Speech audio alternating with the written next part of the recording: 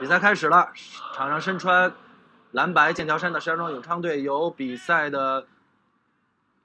场地的右侧向左侧进攻。场上身穿橘色球衣的北京人和从左往右攻。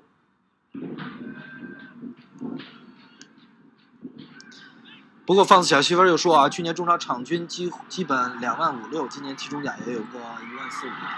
是这样，这在中甲还是比较高的。当年。在中超的呃运通体育中心也是魔鬼主场，但是，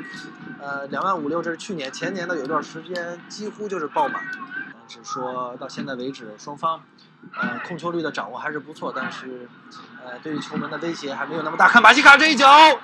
过到了弧顶，这一脚还是不错的，哎很遗憾打偏了，嗯，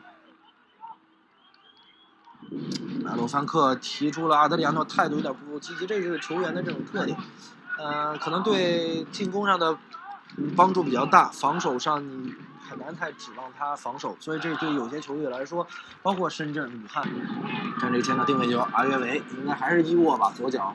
稍微有点远。伊沃在原来建业，无论是建业还是仁和，有过这种远距离。阿约维不错，这边球门的上角，但是由于距离太远，速度没那么快，板小磊呃移动快速移动过去，把球拖出了横梁。这个旗杆可能风不小，可能对这个球路的判断也有点变化啊！一点被穆伦加前点挡了回来，这个球王鹏过来要对方假摔，许博，许博跟跟王强俩人，这两个老将，也互相招呼一下，相视一笑，什么都不说，就是你懂我，我懂你。哦，这个球，裁判手下留情了。王强连争都没争这球，出入比较高的，非常好打中路，这球破没有能够扑到板小磊，好，恩爱许博补到了门前，把球破坏，非常关键的位置。如果这个球许博不在那个位置的话，对于仁和插上的球员就是一个空门的机会。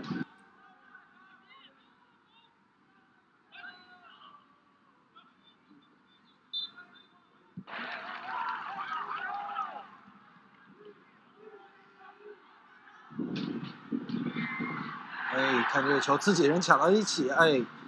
看我们看到穆伦加这球护球，两个人都没有铲下来，裁判给了有力的手势，往中间走，找阿德里亚诺寻求扑二打二的机会，我们在这打门，这是一个不错的机会，打了近角，啊，张力守的还是比较的稳的。这个 Johnny Nelu 说啊，相对的比赛，应该是前一轮。